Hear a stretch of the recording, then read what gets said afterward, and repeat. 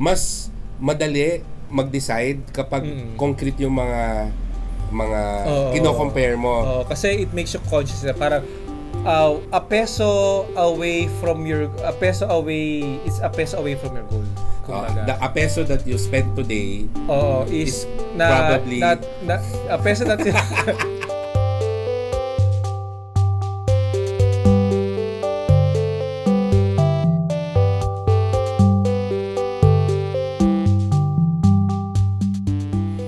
Hello everyone.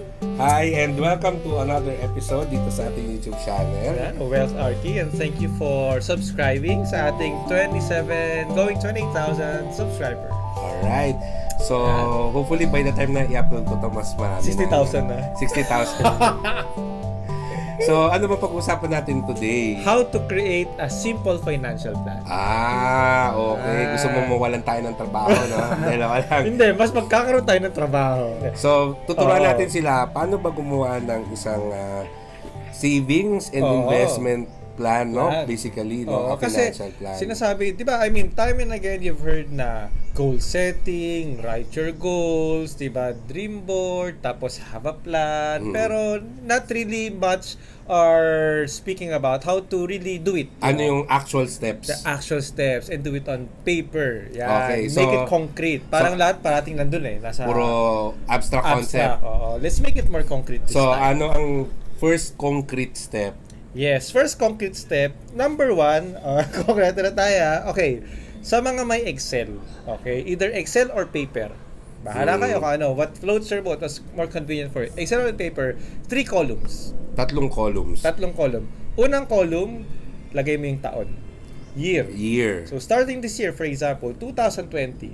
Tapos pababa, 2021, 22, 23, pababa. Okay. Okay, until the foreseeable year gusto mo magplano. Okay. Kasi sabi nga 'di ba, you make it smart, specific, measurable, attainable, realistic, and time bound.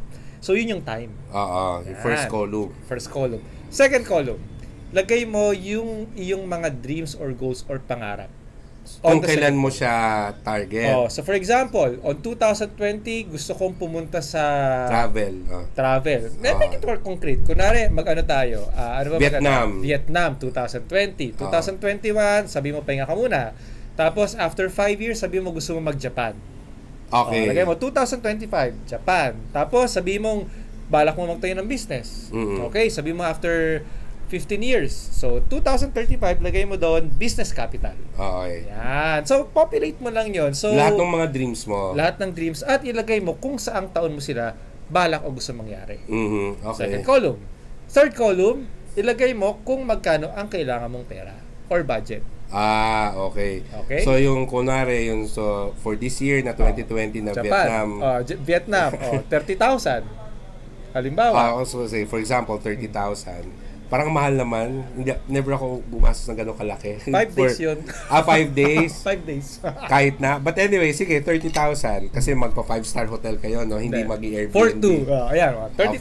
Ah. Oh, kunwari, Japan, after 5 years. Oh, magkano Japan? Hindi ko Siguro mga 70,000. 70,000 after 5 years.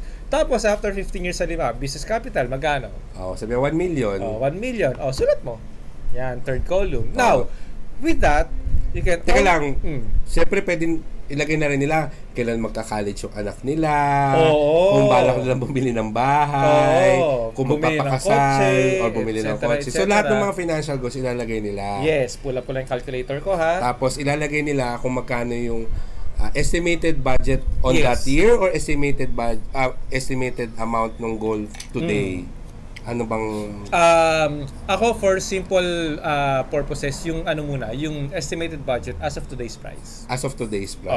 Oo. Okay. Yan, okay. Pero kung gusto nyo lagyan ng inflation, Pwede pwede, rin. rin, Kasi oo. pero medyo complicated pa yun. eh. Oh, pero, so simple simple, Simple muna. financial plan lang naman yung Okay, gagawin kasi- natin. so Just for for, them to example- grasp the concept. Yes, Okay. oh, it's just an exercise. So for example, Vietnam in one year's time. Sabi mong December. Oo. Yan. So meron kang 12 months. Oo. 30,000. So, divide mo lang By 12. by 12, di ba? Oh, divide mo lang 12. So, 30,000 divided by 12, that's 2,500 So kailangan mag-save sila ng 2,500 per, per month.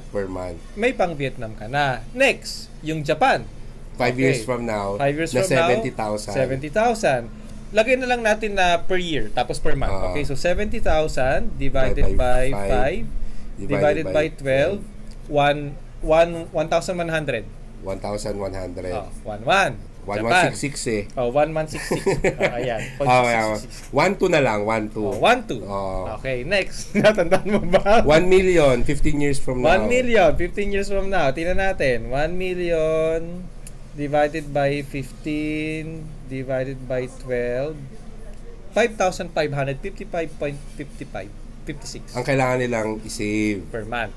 So, given that, ano nang gagawin nyo? Kung gusto mong matuloy lahat ng tatlo na yun. Ah, Every month, tatabi ka. Okay, income minus 2.5 pang Vietnam for Mm-mm. 2020. Tapos, next is yung 1,200 pang Japan after Mm-mm. 5 years. Tapos yung 5,555 for business capital. Oo. Yan. Ibabawas nyo na sa budget niyo yun. Mm. Every time. So, income minus pang Vietnam, pang Japan, pang business capital. mm. Yon. Of course, uh, having said that, kailangan din yung minus tubig, ilaw, kuryente, di ba? Minus usual- retirement fund, minus, minus retirement fund. So, ganun po Fund. ang simple financial plan. Kumbaga, yun yung sinasabi natin parate na needs muna bago mag-wants. Mm. Di ba? Okay, okay. Yun yun. So, again, income minus tubig, ilaw, kuryente, gasul, pang school bus ng anak, Mm. di ba? Pampalengke, less Tapos yung mga finance, ma- financial goals Oo, na less Japan, less pang Japan, less, Less pang Vietnam. Vietnam, less pang business capital. And Mm. then kung mati kung may matira, and then well, of course, since your priority is your goal, kung may matira, yun na lang yung mga pang samgyupsal, Ah, pang pang milk tea, luxuries. pang luxury, pang gadget. Ah, Yon. Pero ako ah, personally speaking, hindi naman natin sinasabi na oh, wag ka mag milk tea, wag ka mag samgyupsal. Okay lang 'yon kasi it's your money at the end of the day. Kaya lang isipin lang natin ano mangyayari kung halimbawa income tapos inuuna niyo yung samgyupsal, tapos inuuna mo yung latest gadget, 'di ba? Tapos So, hindi mo napopondahan yung mga goals mo. nadidelay yung goal mo. So, yung, sila. yung Vietnam mo dapat this year, baka Oh. next year na lang. Or baka maging 10 years na yung Vietnam o baka hindi na matuloy at all. Oo. Eh kasi every 2 years gusto mo ng latest gadget eh. years. Mm, mm. Ah. So, depende din talaga sa priority nila. Ang importante, Mm-mm. kapag gumagastos ka, alam mo kung ano yung sinasacrifice mo. Yes, so for Kasi, example, ah, pumunta ka ng mall, nakita mo, sale. oo, Ah. may bagong sapatos. May bago sapatos, rubber shoes. Ay, parang gusto kong bumili kasi, eh, ano yun? Pare, 2.5 yung sapatos. O, 2.5 yung sapatos, ganyan. So, isipin mo tuloy, ay, yung 2.5 Ano mas importante sa'yo? sa, eh, pang Japan ko na, di ba? Pang Vietnam yon. Oo, pag 2.5. bumili ng sapatos, pang Vietnam ko na to. So, ang tanong lang is, bibiling ko ba yung sapatos ngayon? Or, ah itutuloy ko yung Vietnam ko? Oo, So, ano bang mas matimbang? Oo. Sapatos o o Vietnam? so, pag binili mo yung sapatos, dapat aware ka na yung plano mo mag-Vietnam, dinidelay mo ng isang buwan. Oo. Kasi yung budget mo dapat para sa sa Vietnam. Oo. Ginastos mo ngayon para sa sapatos, eh, di ba? Or nagkayaan, nagkayayaan, di ba? Oh, magsamgyupsal tayo after milk tea. Oh, magkano din Oo. yun? So, kunwari yung business capital, sabi Mm. nga natin, 5,000 yun. 5,000 a month, di ba? So, Eh, in a di- year, in a year, 60,000 yun, Mm, di ba? mm, mm. So, bi- biglang lumabas yung bagong iPhone, uh, Oo. 60,000. Tapos so, magpa-plan ka pa.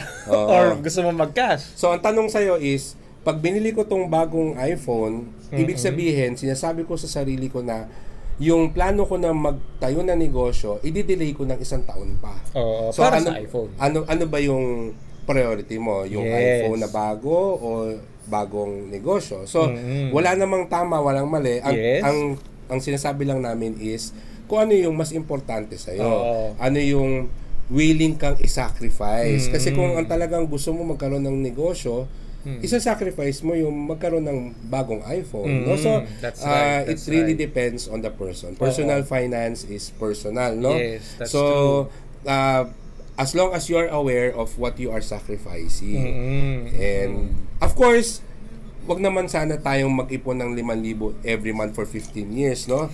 Uh, of course, may inflation. right. And, of course, Oo. there's a faster way to uh, be able to reach yung target amount mo. Which, is, by investing. investing. Kasi yung ginawa natin, simple savings lang, kumbaga wala pang interest rate yan. Oo, walang Wala pang investment, hindi mo ini-invest yung iniipon mo. Of Yan. course, since sinasabi nga natin, 'di ba, that your ma- investing is your money working for you. So, kumbaga pag nag-invest ka, mas bumibilis ang lago ng pera. So you can get to your uh, goal sooner or Mm. pwede rin na uh, same number of years pero since mas malaki yung rate of return, mas lumalaki yung pera mo, then maaari and most probably mas lumiit yung kailangan mong ipondo na pera. mm Para Pero sa at least, yun. ano, alam mo yun, meron kang ballpark figure, Yes. no? So, gusto mo Oo. ng 1 million in 15 years para sa business Mm-mm. capital. In a way, kailangan nag-ipon ka ng 5,000 every month, Oo, no?